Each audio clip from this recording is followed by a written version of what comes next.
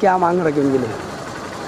हमारे नगर पालिका क्षेत्र में जो देशमुख फ़ाइल है और जो गरीब बस्ती है आज तक के वो जिन्हें रेलवे लाइन थे वो रन क्रॉस करके शहर में आते थे। लेकिन अब ये जो रेलवे जंक्शन बन रहा है।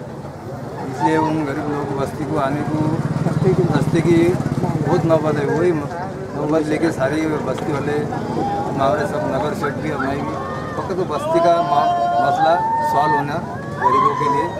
यानी कि उनको रास्ता ही है नहीं। और रास्ता करने के लिए जो पागरुतवाड़ी है पागरुत वालों ने भी कुछ जगह उनकी दान दी है, ये रास्ते के लिए।